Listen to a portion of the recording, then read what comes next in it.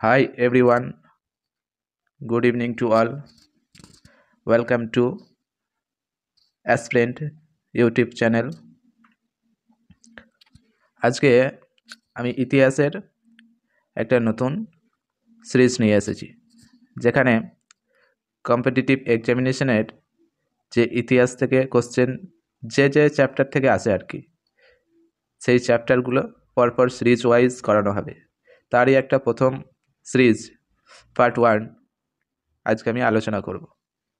তো আজকে আমি প্রথম যে চ্যাপ্টারটা, সেটা ইতিহাসের সিন্ধু সভ্যতা বা হরপ্পা সভ্যতা এখান থেকে শুরু করছি। তো আশা করছি ক্লাসটা সকলের ভালো লাগবে। তো শুরু করা যাক ক্লাস। দেখো, সিন্ধু সভ্যতা।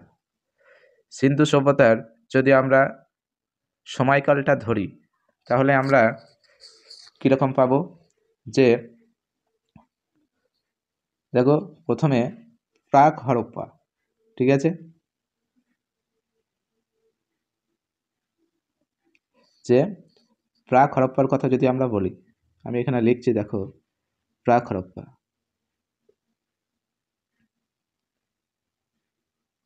প্রাক হরপ্পা।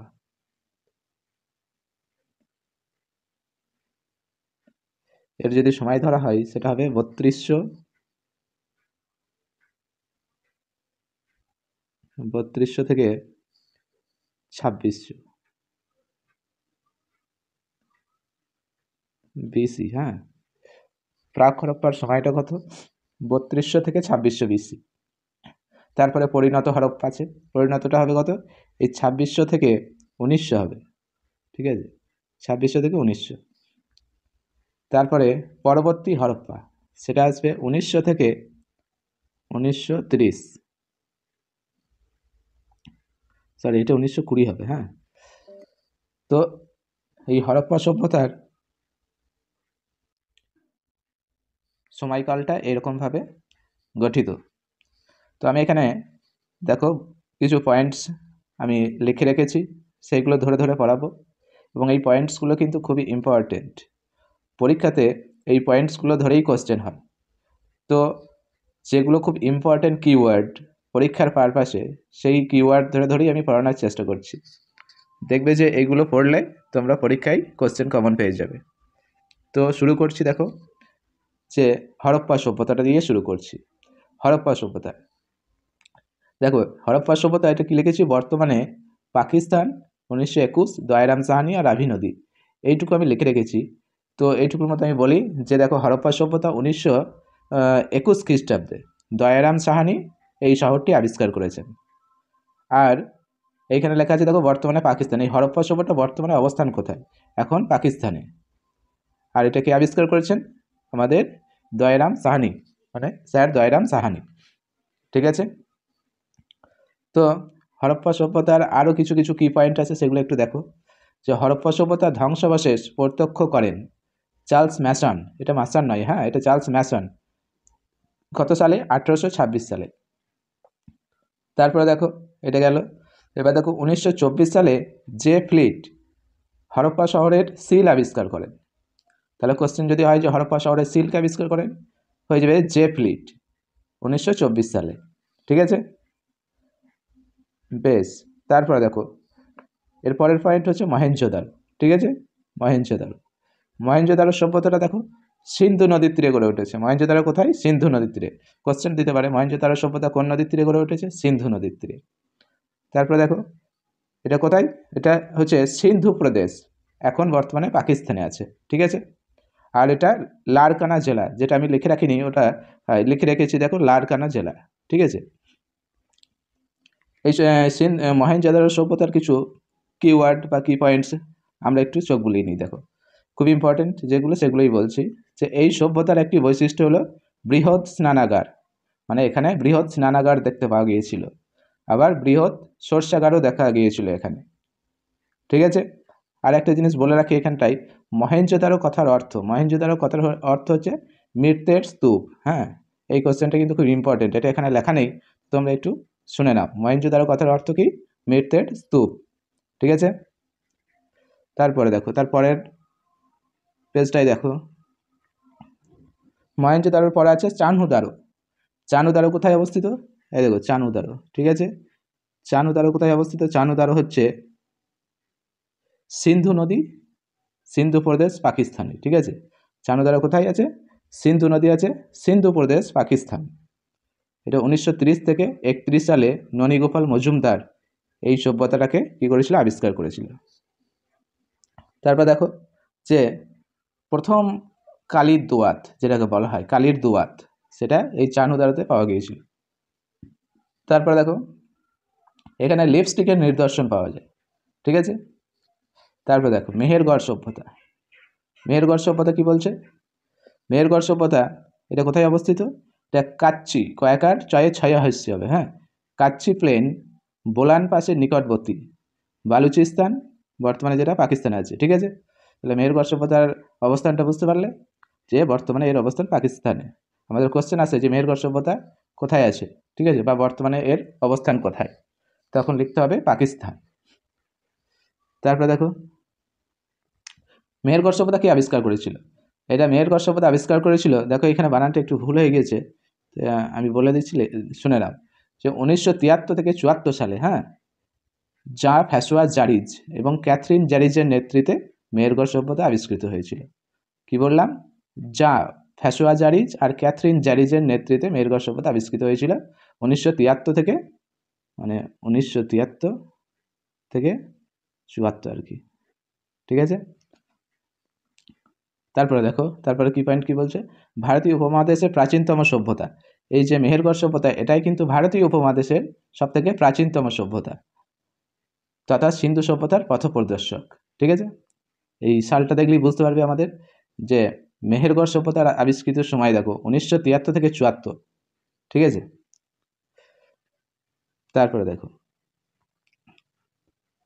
তারপরে হচ্ছে সুদ কাজেন্দার। এর পরের যে চ্যাপ্টার পরের যে আমাদের ওই সভ্যতাটা আসবে সেটা হচ্ছে সুদ কাজেন্ডার ঠিক আছে? দেখো, সুদ কাজেন্ডার দেখো, সুদ কাজেন্দার কোথায় বা কোন নদীর তীরে অবস্থিত?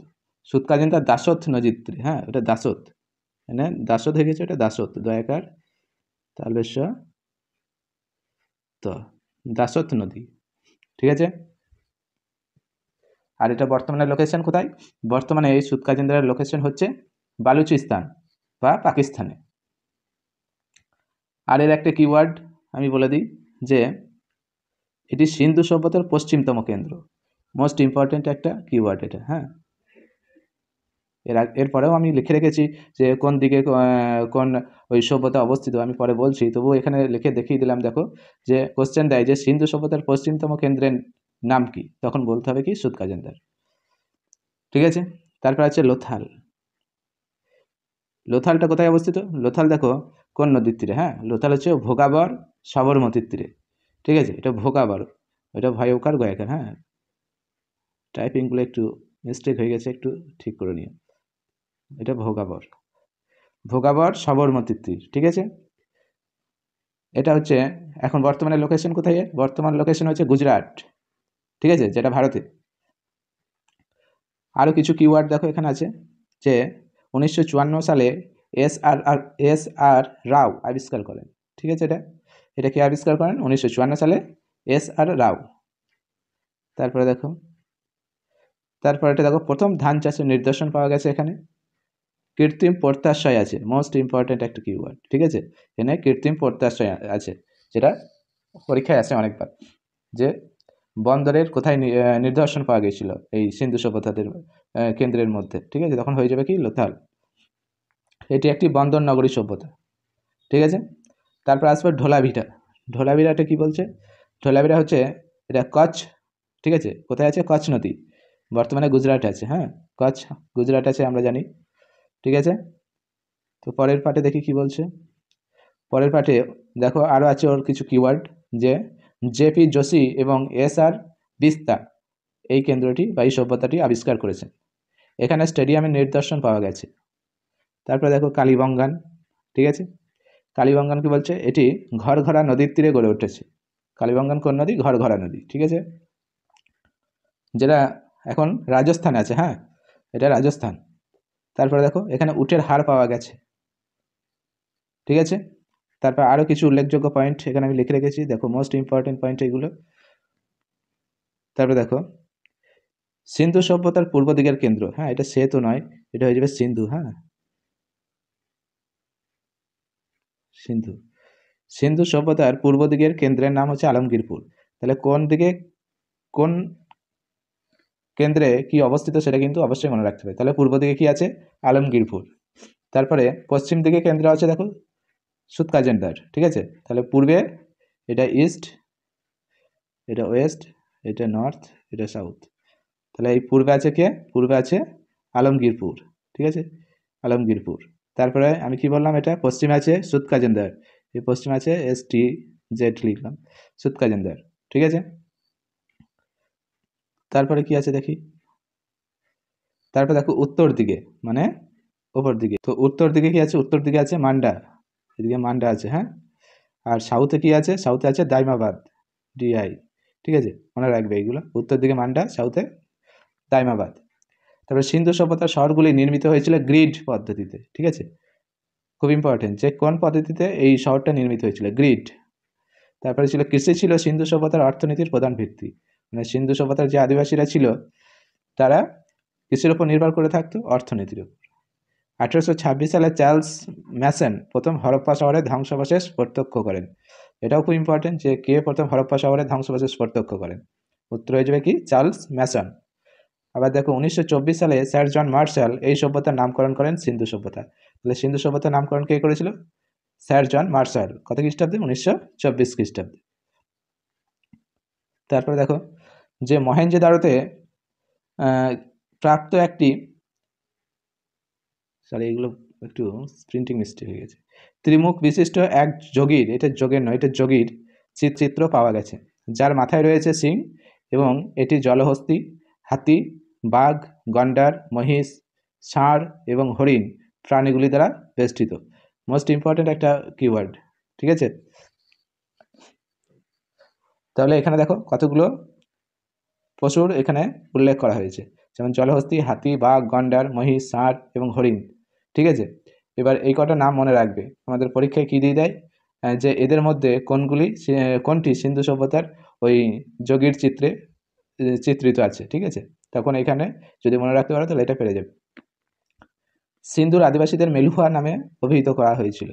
তাহলে সিন্ধুর আদিবাসীদের কি বলা হয়? মেলুহা। এটাও খুব ইম্পর্টেন্ট কোশ্চেন সিন্ধু সভ্যতার বাড়িগুলি পোড়ামাটি ও ইট দ্বারা নির্মিত হয়েছিল। তাহলে এখানকার বাড়িগুলি কেমন? পোড়ামাটির ও ইট দ্বারা নির্মিত। ঠিক আছে? তারপরে দেখো, আমাদের লাস্ট কি কি পয়েন্ট এটা কি? পুরুষ দেবতাদের মধ্যে প্রধান ছিলেন পশুপতি বা আদিশিব তাহলে এদের মধ্যে পুরুষদের যে দেবতা ছিল, তাদের প্রধান কে ছিলেন? পশুপতি বা আদিশিব